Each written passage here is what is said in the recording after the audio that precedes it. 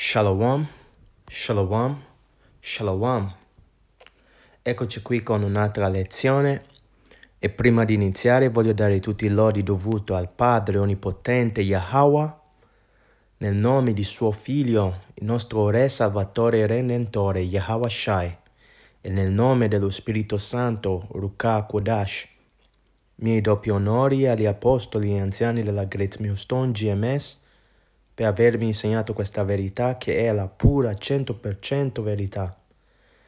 Pace e saluti agli eletti della casa di Yasharala, Israele, sparsi nei quattro punti della terra, a coloro che stanno lavorando nella vigna, che è questa terra, facendo sì che questa verità possa arrivare dappertutto, e anche a coloro che con sincerità cercano questa verità. Shalom.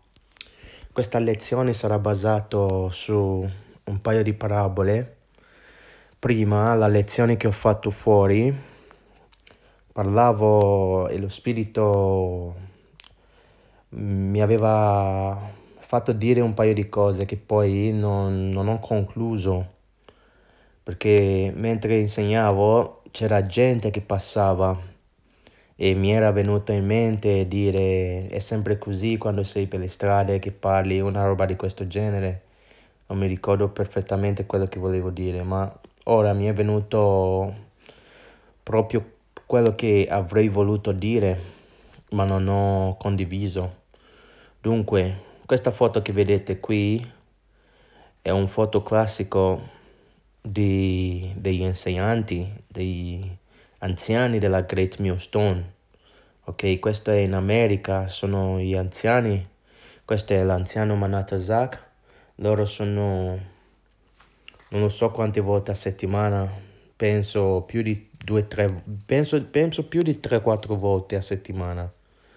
Sono sempre fuori ad insegnare. E notate che mentre insegnano passano tante persone alcuni fanno delle domande, vengono risposte e non, non digeriscono la cosa così, alcuni si fermano per criticare, alcuni invece si fermano e accettano questa verità con felicità. Ora andiamo velocemente a leggere. Leggiamo prima questa parabola che si trova nel libro di Matteo capitolo 22 queste sono le parole di Yahweh E Yahweh rispose e parlò loro di nuovo con parabole e disse, il regno dei cieli è simile a un certo re che ha sposato suo figlio. Questo re sta parlando dell'Onnipotente Padre Yahweh e il figlio è Yahweh Shai, colui che il mondo chiama con ignoranza Gesù e mandò i suoi servi a chiamare coloro che erano stati inviati alle nozze e non sarebbero venuti. Questi erano i profeti che sono stati chiamati a, a svegliare i figli di Israele, ok? Ma come sapete sempre della storia, se guardate dal Vecchio Testamento, molti dei profeti sono stati uccisi I profeti comunque non venivano accettati, ok? E non sarebbero avvenuti. Di nuovo mandò altri servi dicendo, di a loro che sono stati inviati. Ecco, ho preparato la mia cena, i miei bue e i miei ingrassi sono uccisi e ogni cosa è pronta. Vieni alle nozze. Ma quelli di esso ma quelli di esso e presero strade, chi al proprio campo, chi ai propri affari, ok? E il rimanente prese i suoi servi, li supplicò con disprezzo e li uccise. Questo è il classico di quello che sta succedendo, ok? Come dicevo prima, molti profeti sono stati uccisi, ok? I figli di Israele gli andavano bene questo regno hanno gli occhi accecati dalle ricchezze di questo regno, dalle strade degli, delle altre nazioni, le strade di per, eh, perdizione, che non fa altro che gratificare la carne, ma lo spirito muore. Ed è quello che si sta parlando qui, ok? Ma quando il re udì ciò, si adirò e mandò le sue truppe, ok? Uccise quegli assassini e diede alla fiamma la loro città. Allora disse ai suoi servi, le nozze sono pronte, ma quelli che erano stati invi invitati non erano degni. Ok? Allora, come abbiamo visto, il padre ha causato molte distruzioni alla casa di Yasharala nel passato. Ok? Quando i profeti li chiamano, li cerca di svegliarli, loro hanno gli occhi via. E cosa fa il padre? il padre manda eserciti, eserciti strani che non conoscono. Un esempio sono gli assiri, un altro esempio i babilonesi. Li hanno preso e dispersi in schiavitù. E l'ultimo che è successo è stato attraverso i Romani nel 70 dopo la morte di Yahweh Il padre ha guidato questo esercito, hanno massacrato molti, hanno disperso molti e molti sono dispersi, sono andati in Europa, tanti sono scappati nell'Africa, precisamente nell'Ovest Africa, ma sono sparsi in tutta l'Africa, ma maggior numero è nell'Ovest Africa. Ed è quello che questa parabola sta dicendo, ok? E ma quando il re udì ciò, si adirà e mandò le sue truppe, uccise quegli assassini e diede alle fiamme la loro città. Allora disse ai suoi servi, le nozze sono pronte, ma quelli che erano stati invitati non erano degni. Ok? Andate dunque per le autostrade e quanti ne troverete, fate un'offerta per il matrimonio.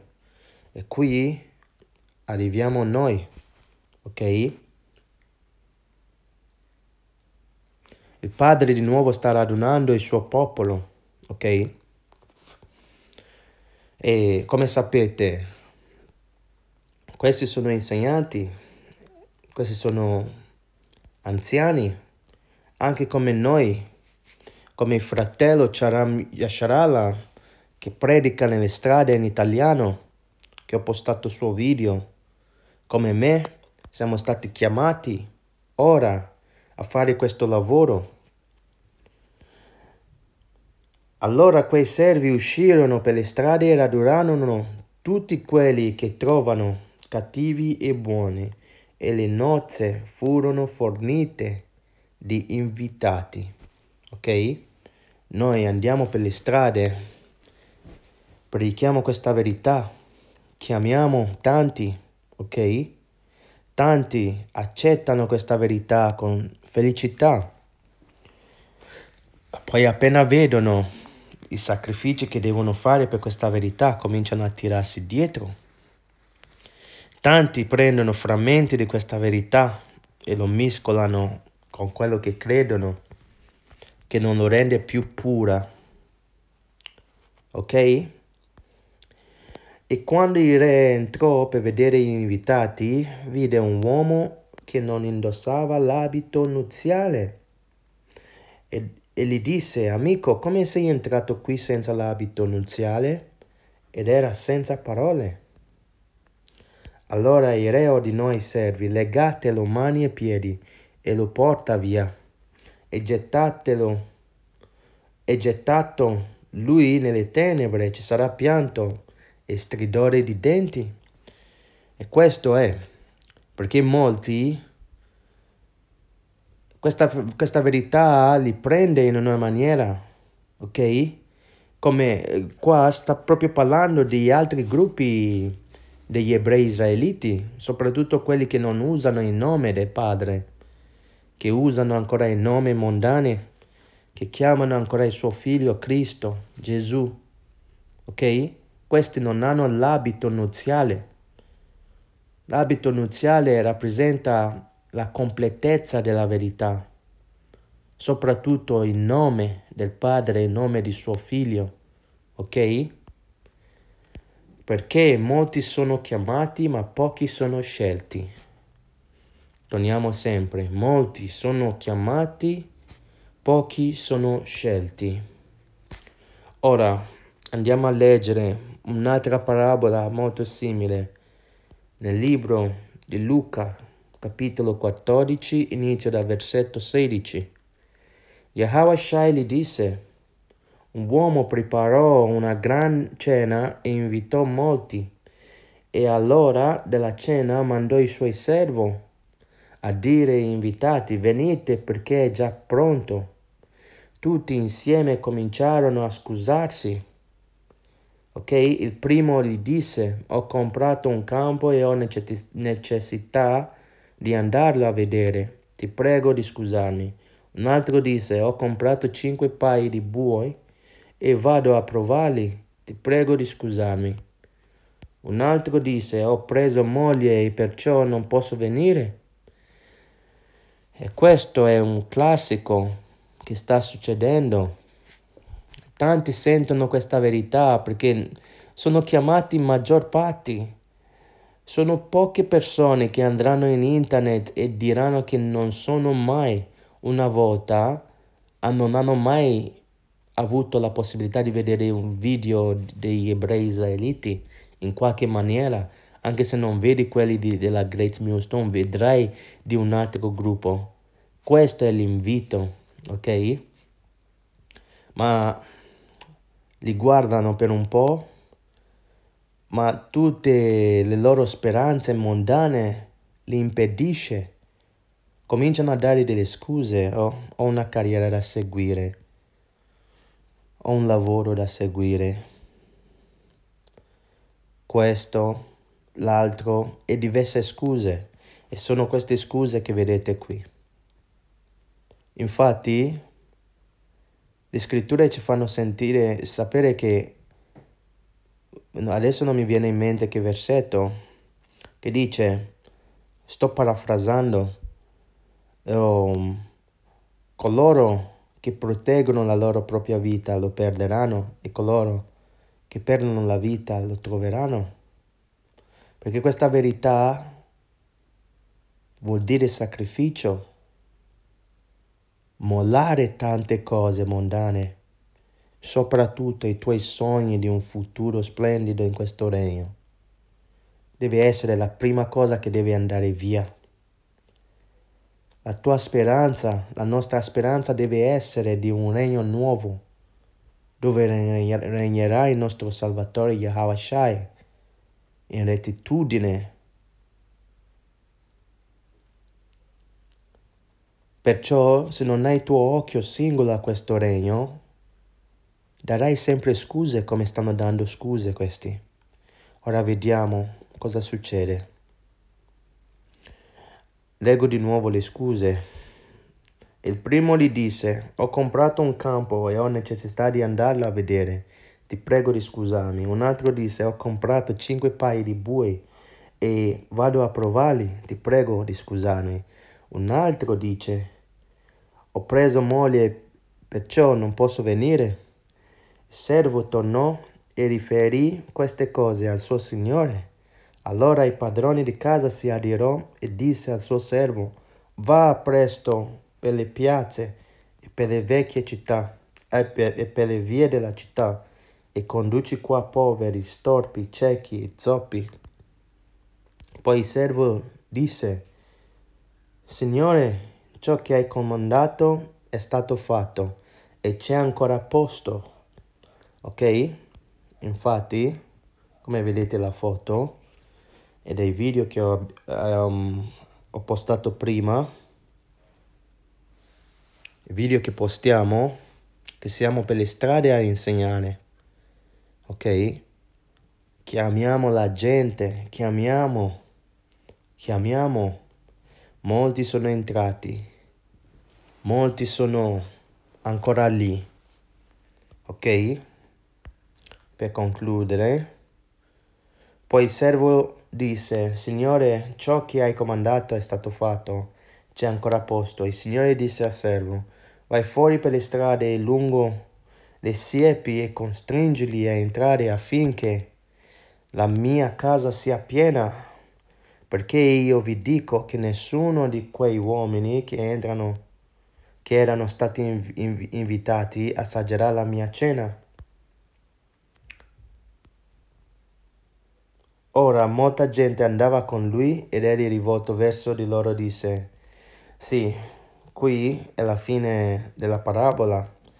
Perciò molti sono chiamati, pochi sono i scelti. Dovete mollare tutte le vostre cose e seguire il Padre e il suo figlio Yahweh. Ok? Mollate tutte. Guarda, questa verità infatti non è per tutti. Per pochi, e quei pochi sono coraggiosi. Detto questo, spero che siete stati edificati e lascio tutto questo nel sacro nome del Padre, Yahweh, e nel nome del suo Figlio, Yahweh Shai, nostro Salvatore, e nel nome dello Spirito Santo, lo Spirito di verità, Ruka Kodash. Doppio onori agli apostoli e anziani della Great Millstone GMS per avermi insegnato questa verità. Pace e saluti agli eletti della casa di Yasharala. Alla prossima. Shalom.